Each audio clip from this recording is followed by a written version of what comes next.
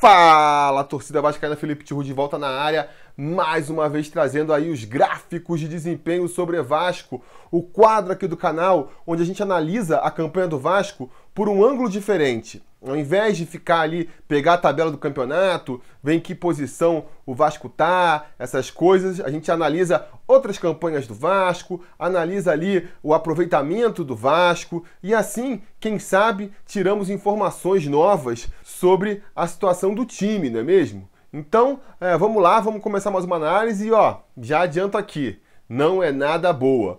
Pois é, a nossa situação a cada novo gráfico de desempenho sobre Vasco piora, né? A gente já fez um gráfico de desempenho sobre Vasco aqui duas vezes nesse campeonato. Um depois da 11 rodada e outro depois da 18 rodada. Se você não viu, ó, vou deixar aqui o link para você assistir os outros episódios, mas a coisa vem piorando, vem piorando de lá para cá. Se quando a gente fez pela primeira vez, lá na 11 rodada, o Vasco estava com 10 jogos, né?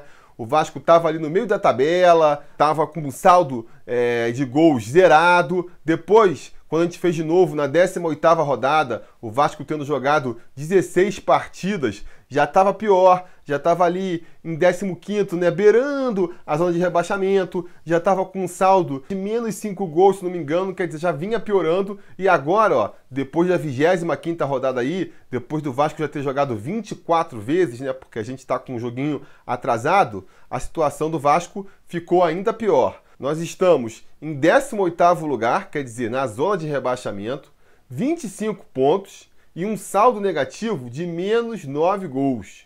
27 gols feitos, 36 gols sofridos, um saldo de menos 9. Quer dizer, uma situação bem complicada do Vascão aí. E o pior, na verdade, eu acho, é perceber, né, ao longo aí dos quadros, como a situação do Vasco vem piorando. Isso é, é, o mais problemático, né? A linha aí de declínio, o Vasco precisa recuperar isso logo. Mas vamos então começar a atacar os gráficos de desempenho aqui, que afinal de contas é o objetivo do canal. Vamos começar com o gráfico aqui de campanhas ideais, o gráfico onde a gente analisa aí o desempenho do Vasco de acordo com o aproveitamento que ele deveria ter, dependendo do seu objetivo. Aí quem já acompanha esse quadro há mais tempo já vai saber, né? A faixazinha branca aí é aproveitamento de rebaixamento. Se o Vasco está nessa zona branca, é porque está com aproveitamento de rebaixamento. Se está na zona azul, aí tá ali na, na zona morta, né? Nem rebaixado, nem conseguindo nada de melhor na competição. Se está na zona verde, aí já é aproveitamento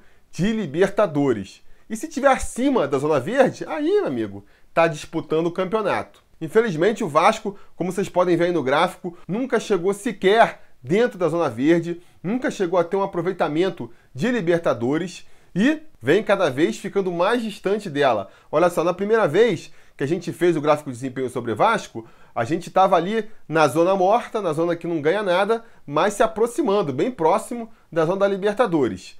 Da segunda vez, a gente ainda estava na zona morta, mas já se aproximando perigosamente da zona do rebaixamento. E agora, agora entramos profundo na zona do rebaixamento aí, na faixa branca do rebaixamento, o que significa um aproveitamento aí de rebaixado. Isso pode se comprovar também no nosso gráfico de desempenho seguinte, que é o gráfico onde a gente compara a campanha atual do Vasco com as melhores e piores campanhas do time no campeonato de pontos corridos com 20 clubes. Então a gente tem aí de azul as três campanhas de rebaixamento do Vasco, né, 2008, 2013 e 2015, e temos em verde, essa linha mais alta aí, a melhor campanha do Vasco no período, que foi em 2011, quando a gente terminou com o vice-campeonato. E aí vocês podem ver que realmente esse gráfico corrobora o anterior. A gente está fazendo uma campanha de rebaixado, a gente está fazendo uma campanha semelhante à de 2013 a gente está realmente descolado da campanha de 2015, que foi aquela campanha horrorosa, né? Então temos hoje nove pontos a mais do que tínhamos depois de 24 jogos em 2015. É o mínimo que se espera. Essa campanha de 2015 aí, o começo dela pelo menos, eu espero que o Vasco nunca mais repita, né?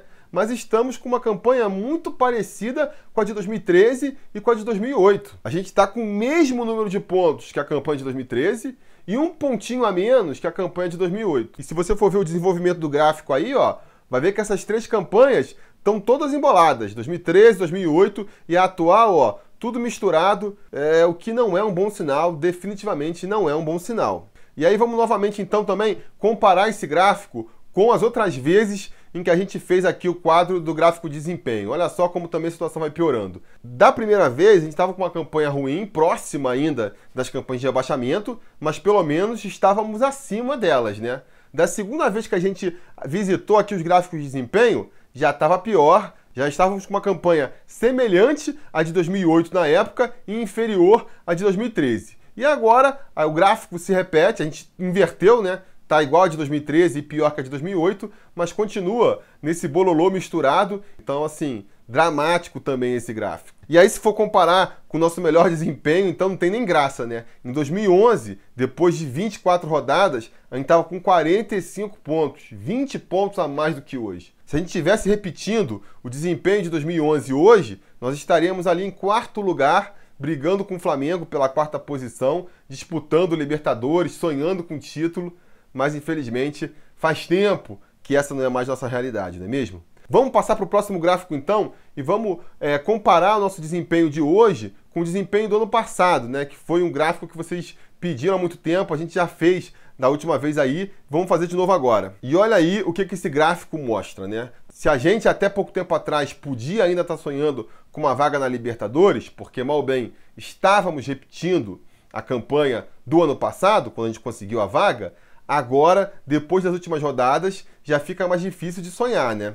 Se vocês repararem aí, ó, a gente volta cinco rodadas atrás, na rodada 19, a gente ainda estava com a mesma pontuação do ano passado, depois de 19 jogos. Então, quer dizer, ainda dava para sonhar com uma vaguinha na Libertadores. Só que de lá para cá, amigo, a campanha foi desastrosa, né? Perdemos quatro jogos, empatamos só um e agora a gente já está seis pontos atrás da campanha do ano passado nessa mesma época do ano. E se vocês forem reparar na campanha do ano passado, daqui para frente, da 24 rodada para frente, ela já dá uma guinada boa. Quer dizer, a gente para tentar pensar em Libertadores teria que dar uma guinada ainda maior, teria que fazer uma curva ainda mais acentuada para cima.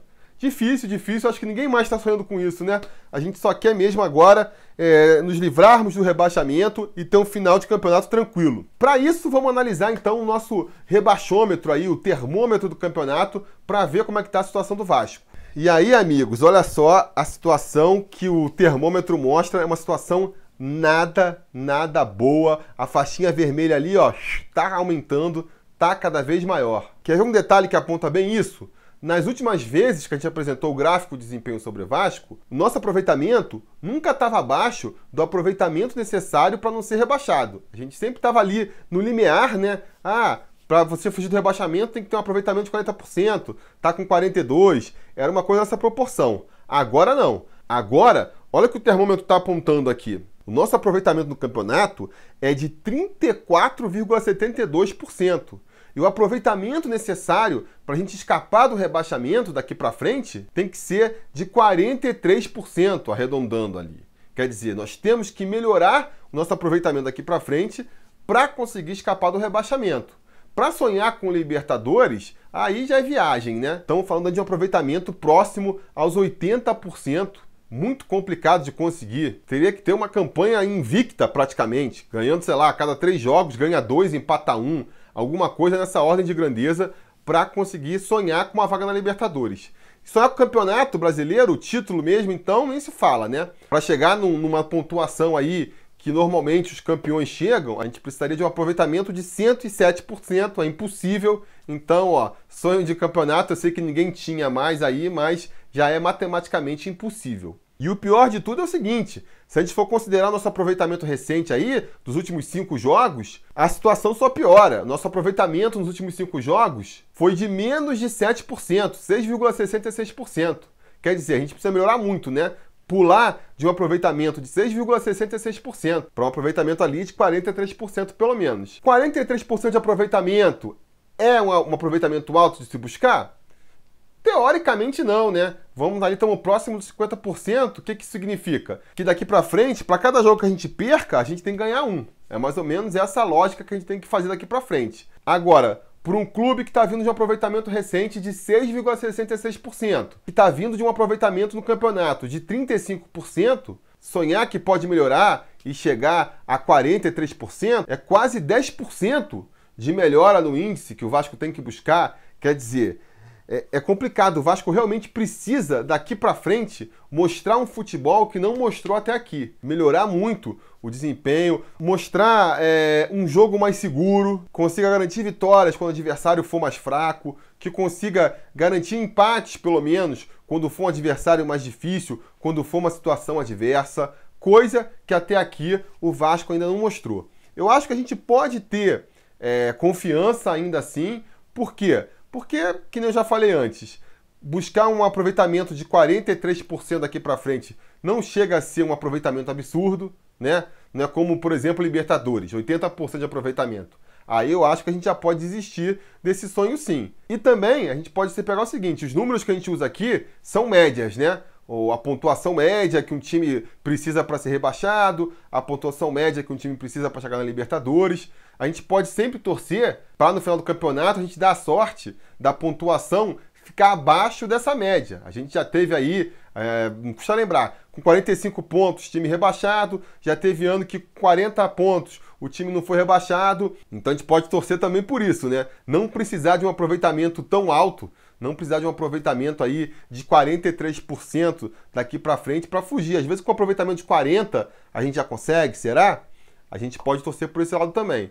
De qualquer maneira, o time tem que mudar a postura, sem o time melhorar, sem o time evoluir muito rápido no próximo jogo já, sonhar com isso vai ficar muito difícil. Então vamos aproveitar aí que essa semana o Vasco vai ter uma semana, mais de uma semana para treinar, né? Jogou no sábado, agora só joga de novo na segunda. É a chance, a oportunidade que o Alberto Valentim tem de ter um contato maior com esse elenco, botar, uh, mostrar a sua filosofia para o elenco. A gente vai pegar um adversário fraco, né, da parte de baixo da tabela, jogando em São Januário. Então, amigos, se a gente não conseguir se impor no próximo jogo, realmente vai ficar difícil de sonhar com uma reação. Mas isso aí é assunto para um preleção sobre Vasco, né? Que deve sair no domingo aí ou na própria segunda-feira, dependendo aqui de como a gente vai conseguir produzir. Antes disso, quero voltar a falar com vocês. Quero ver se a gente faz uma live. Vou tentar fazer a live aí amanhã ou depois a live mensal do Sobre Vasco de setembro. Aproveitar essa semana aí, sem compromissos do nosso time, para fazer a nossa live mensal, onde eu sorteio uma camisa do Sobre Vasco para os apoiadores do canal a partir de 10 reais. Então, se você quiser ser um apoiador do canal, visita lá, ó o www.apoia.se barra sobre Vasco. A partir de R$ reais por mês, você já está ajudando o canal aqui a, a existir, a produzir cada vez mais conteúdo. Já participa do nosso grupo exclusivo no WhatsApp. E a partir de R$ reais, você já entra no sorteio para concorrer a uma camisa aqui do Sobre Vasco. Beleza, galera? Então é isso. Não se esqueçam também de curtir o vídeo, assinar o canal, ligar sininho de notificação para saber quando for rolar live. Eu não tenho aqui como marcar um horário certinho, porque minha rotina é meio louca e aí fica difícil. Mas até por conta disso, é bom você estar inscrito, é bom você estar com o sininho de notificação ligado, porque aí quando rolar live, você já vai ser informado pelo YouTube e lá a gente conversa sobre tudo isso do Vasco. Já vai preparando as perguntas aí que a gente troca essa ideia. Beleza? Tá combinado? Então tá combinado. A gente vai se falando.